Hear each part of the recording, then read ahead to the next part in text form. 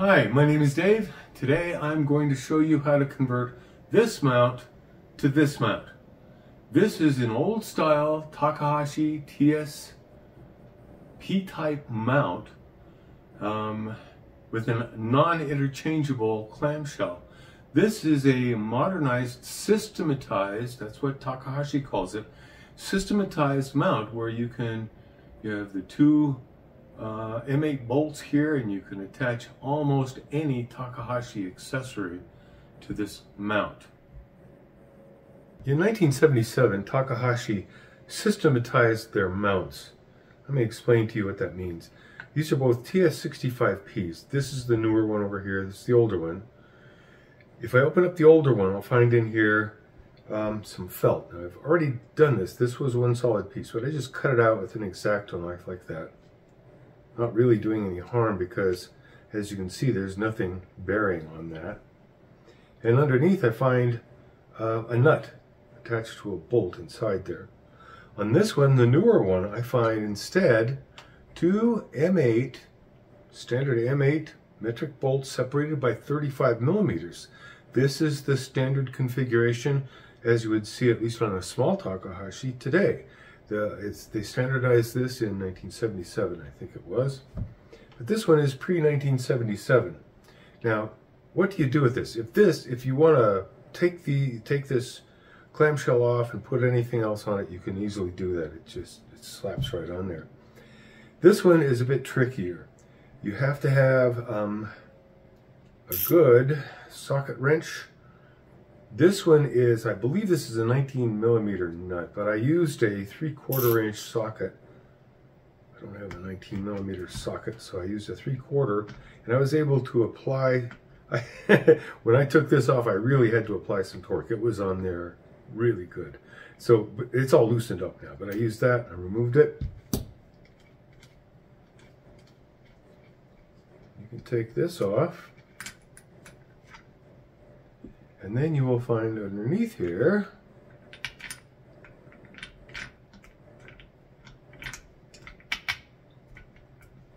big heavy washer. I want you to notice how bent that washer is. That thing is, it was really, there was some serious torque applied to that. Now inside here, you will find um, that's not enough to remove this, not quite yet. There's a little socket screw here. Let me show you a magnified view of that. So this little set screw here, you have to uh, have the right size screwdriver. Take this little set screw out. The purpose for this set screw is simply to keep this whole thing from rotating.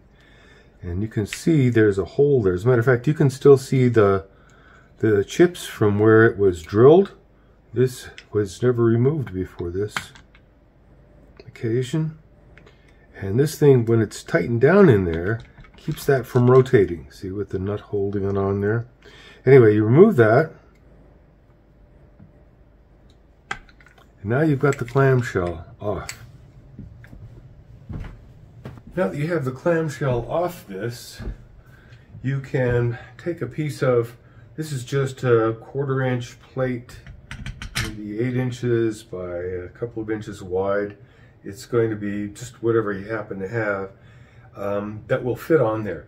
It has to be, you have to drill this hole to the right size for that. It doesn't have to be ultra precise, but it needs to be approximately the right size for that thing. And then you can put this on here. And now you've got this converted over. Apply some torque there, tighten it down. And now you've got um, a mount that you can use different telescopes. You can use, uh, put whatever rings on there you want, and so forth. So that's one simple thing you can do.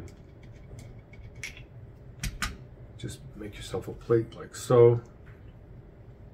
This won't work with the Vixen plate because Vixen plate is too thick here. You need something that's a little bit thinner.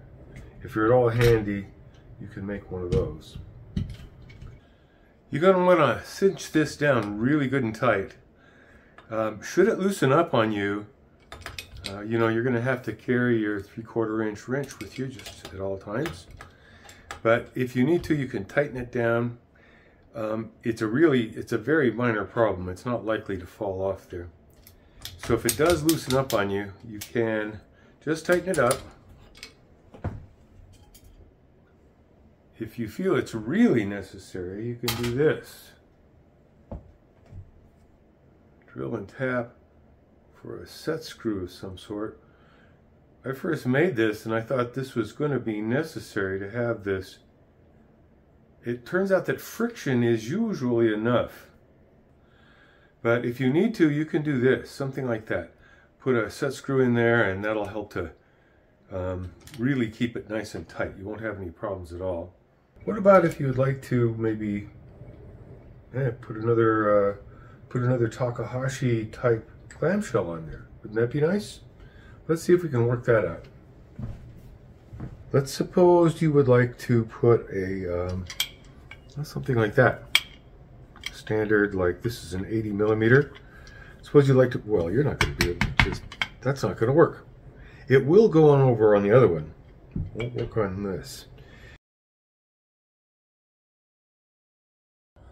When I bought this TS80 mount from Japan, I discovered that it had something interesting here on the top. Instead of a clamshell, it had this adapter. Actually, it had a clamshell for a different size scope. What's this adapter all about? I'll take it off there and show it to you. Here's what this thing looks like up close.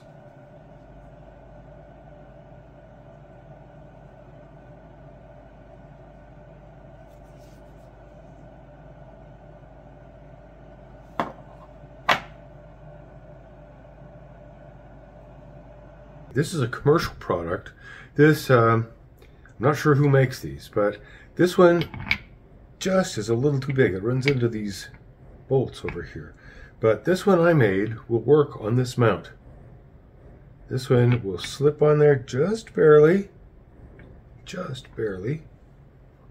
And now, put this on. Now here's where it's important to have the right size you gotta, you gotta have the right size hole here. That has to be just right.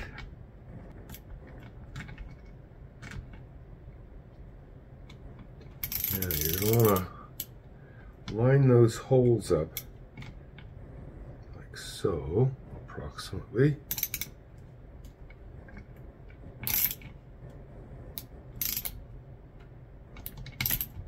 Tighten that down really good.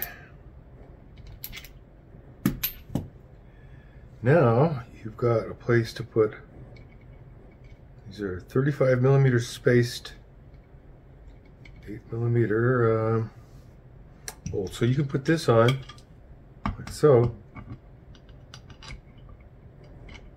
Goes right on, as you can see. Standard, it becomes a standard Takahashi. The only thing is it just stands up a little bit taller that means. This is just a little bit, that adds maybe three quarters of an inch or an inch. Not a serious amount. The nice thing about this is that once you put that on, you can get one of these. Ah, ah now you're talking. Now you can put a, anything with a Vixen dovetail. You can put on this quickly and easily. So you've converted this from a Takahashi to a systemized, systematized Takahashi, and then to a Vixen. so you've uh, you've really morphed this mount by quite a bit. Now you have an extremely useful little mount with a Vixen dovetail. You can put a lot of stuff on there. Anything that's anything that's within the right uh, weight capacity for this mount be a snap to put on there. Take a look at this TS80 mount. It's been systematized. It has a Vixen dovetail holder on the top. Once you fit it with an adapter like this, a TS80 mount is a very sturdy mount. It can be used to support a lot of different kinds of telescope.